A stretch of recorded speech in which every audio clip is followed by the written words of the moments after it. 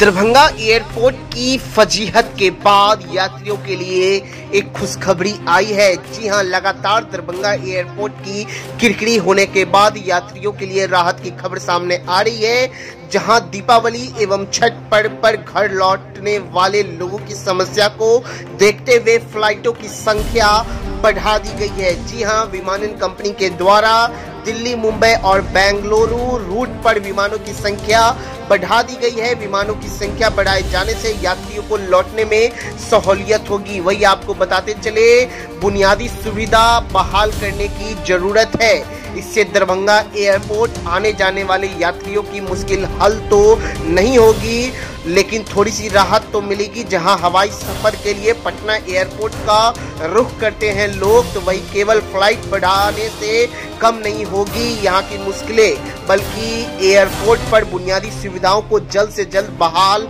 करने की कोशिश की जाए। वही आपको बताते चले का लोगों को बहुत दिनों से है इंतज़ार लेकिन मंत्री जी को इतनी जल्दी थी कि शिलान्यास कर दिए लेकिन आम पब्लिकों के लिए अभी तक नहीं चालू किया गया है। यह खबर निकल के आ रही है। जहाँ तीन महीने बीत जाने के बावजूद भी नितिन नवीन मंत्री थे। बिहार सरकार में पथ निर्माण विभाग के उनके कर कमलों के द्वारा दरभंगा एयरपोर्ट पर नए मार्ग की शुरुआत की गई थी। नए रास्ता का ओपनिंग किया गया हुआ था, जहाँ तीन महीने बीत जाने के बावजूद भी अभी तक उसे पब्लिक के लिए नहीं खोला गया है।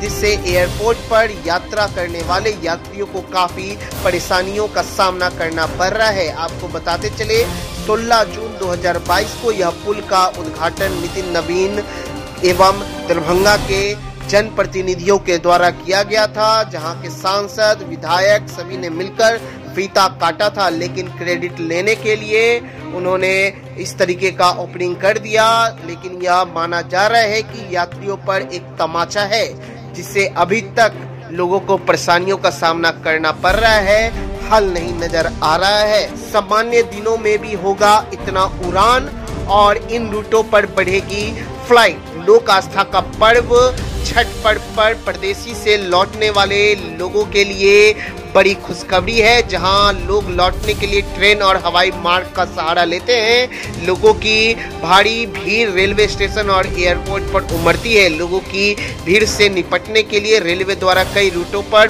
पूजा स्पेशल ट्रेन तो चलाई जाती है तो वही दूसरी ओर हवाई मार्ग से लोगों को आने जाने के लिए विमानन कंपनी ने दिल्ली, मुंबई और बेंगलुरु रूट पर दीपावली से पहले 20 से 30 अक्टूबर तक लगातार विमान उड़ान भरेगी। वही इसके बाद छठ पूजा को लेकर के 28 से 29 अक्टूबर को दिल्ली, मुंबई और बेंगलुरु रूट पर भी प्रतिदिन तीन फ़्लाइट उड़ान भरेगी।